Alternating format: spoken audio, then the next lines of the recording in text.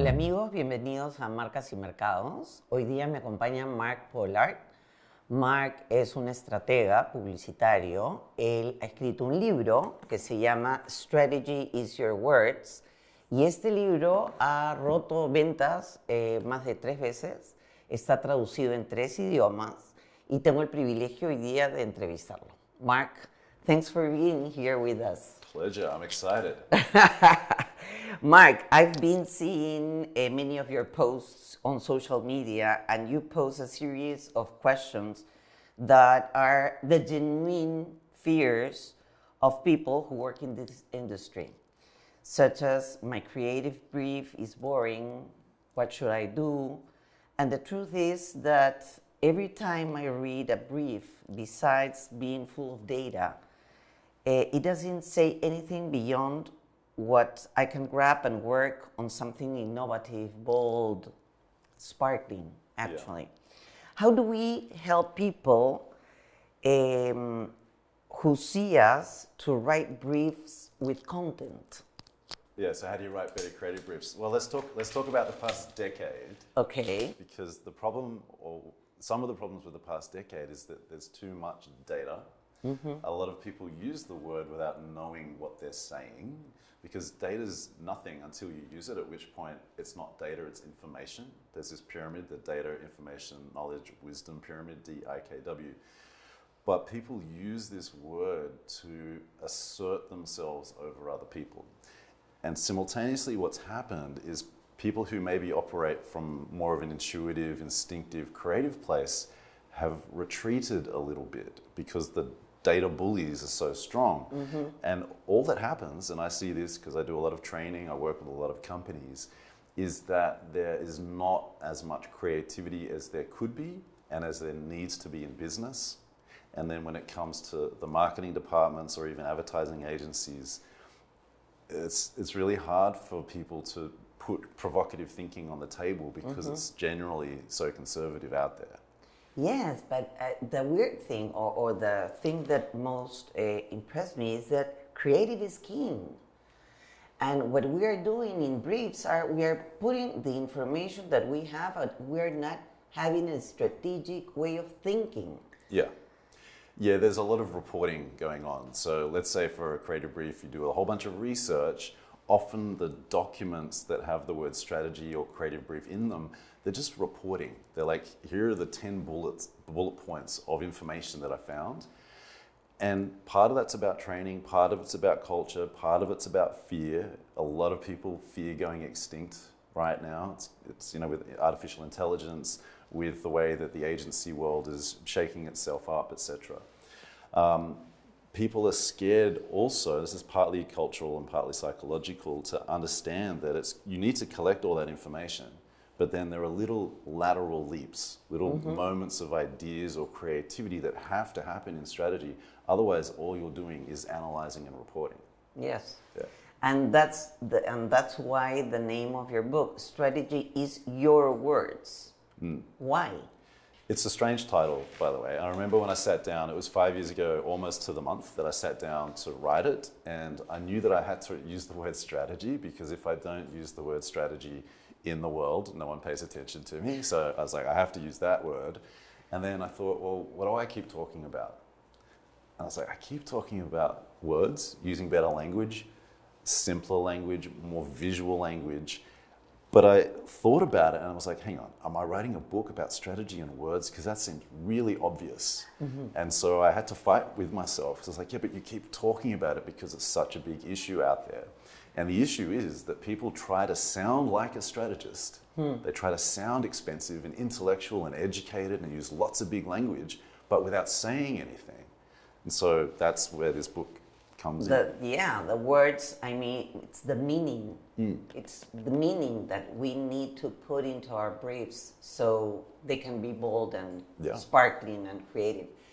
There are a couple of sins that we as advertisers uh, do sometimes. Yeah. Uh, in your experience, which which are those? I feel like right now the biggest sin is to be boring. but also, I would partner that with we have to appreciate the people who do the boring work because a, a lot of us who like ideas and like to be creative, we get bored easily, but we need people around us who can work through the bureaucracy, work through the systems.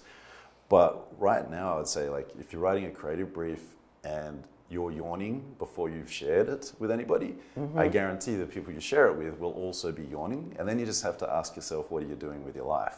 Mm-hmm. Because it's, that's not the point of, of strategy or account planning and advertising. Yes. Um, do you do a lot of research? When I'm working with a brand, yeah, so I largely do training right now, but when I work with brands, I focus on, on interviews. So I'll usually do somewhere between 20 to 40, 45 minute uh, interviews because most companies I work with, they have a lot of data.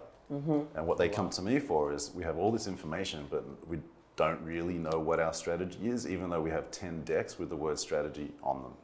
So I come in and I try to approach it a little bit more journalistically than academically, a little bit more like a psychologist than, uh, you know, too formal and academic point of view on things. Because I'm looking to catch words from people. So yeah, Yeah, because the, there you're going to find the insights actually. Because people has to be in the center, otherwise our brands are not going to be sell. yeah. And let me let me give you a quick example, okay? Mm-hmm. Because this is an example that I like to use, and it's a little it's a little bit relevant to, to me actually. I was interviewing men about losing hair about eight years ago, and a gentleman said to me, "I don't feel accomplished enough to be bald." You know, and so that's an interesting sentence to me because if you think about what an idea is, an idea typically brings together at least two topics. In that one sentence, we have achievement or accomplishment mm-hmm. and boldness or loss. Okay, so that's interesting because it's an idea. It's not an idea from a creative department, but it's an idea. But there's a sense of confession and, and a little bit of pain and humor. It's all of these emotions at once. Yes. And I just think it's such a lovely sentence to focus people's attention on because everyone's so caught up in all the trends and having these big words, these big labels for the top 10 trends of this year and that year, and sounding too expensive and official. And it's like often it's just these gentle sentences that help us understand someone or the world differently, that they're always there. Yes, they're simple. Yeah. And they have to be there. But we we do the the we we uh, the complicate we how can I say this? Um, well, whatever.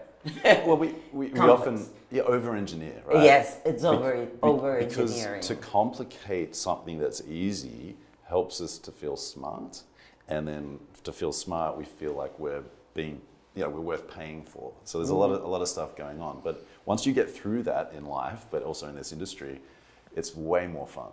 Yes, and that's another thing that we're talking with my friends earlier, and it's about fear.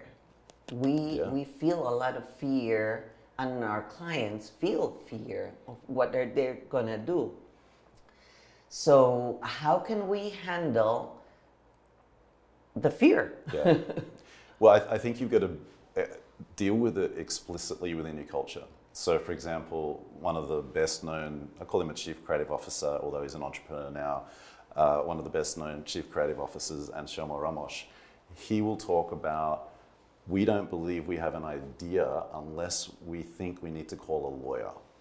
Right, so that's a really useful rule of thumb. Why? Because it means the idea hasn't been done before. There's sense of risk. There's the unknown, and so I think to navigate through fear, one is as a leader you've got to create a sense of safety in your group. Mm-hmm. Right, psychological safety matters. Otherwise, we're in fight or flight all the time. Two is if you want people to take risks, and I know people have an issue with that word when it comes to creativity, mm-hmm. but if you want people to take risks, make it a very bold, clear part of your culture, which means having questions like Anselmo's. Mm-hmm. And then if you have team meetings, what's one thing you've tried in the past week and how did it go? You build it into the interaction so that people know it's an expectation. Yeah, it's good.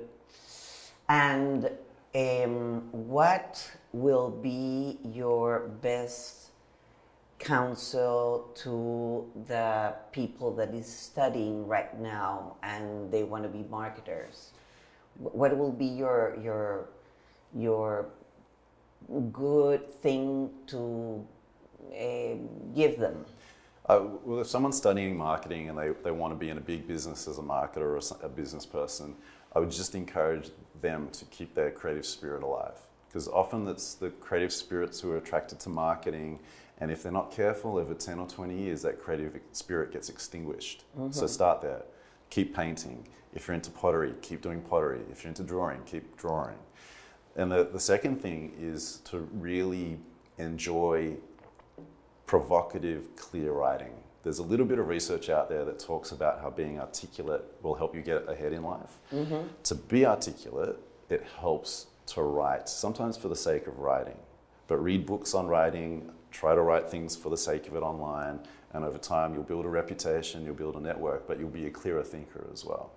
And that's the thing that I that I'm pretty scared of. It's about uh, artificial intelligence next generations they're not going to even know how to write because this AI will do it for them.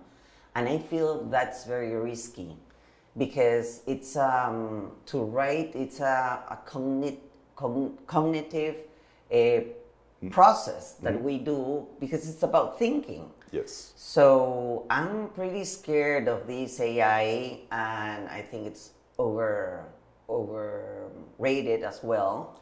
Yeah. Yeah, I'd say two things on that. One is I see a lot of like how to use AI in strategy posts on LinkedIn. And I have to admit that if I was pitching against you and you're using a lot of artificial intelligence to write creative briefs or for strategy, I would love that. Mm-hmm. I would love it because it's super generic right now. That'll change. Mm-hmm. Uh, and then I think the second thing is I believe in humanity. You know, we're creative people, uh, we're a creative species. And if you look at history, every time a new domain appears or humans get to the edge of a domain, that's like, like the planet Earth, we build rockets and we fly off the planet. Mm-hmm. So I believe that we're going to get there there probably will be a five to ten year phase, and unfortunately, it's probably going to affect a lot of the ki- like a lot of the teenagers who've had a tough time through the pandemic and haven't developed social skills, and maybe yeah. they're not developing writing skills, and all the test scores are down, and there's a whole group of people that have had a t- like a, a, specifically tough time over the past few years when it comes to this this type of stuff. So mm-hmm. I'm, I'm a bit nervous for them. Yeah. Well, thank you very much Pleasure. for this. We have to to run to another place. So, gracias. Gracias amigos por estar con nosotros. Este es el libro de, de Mark.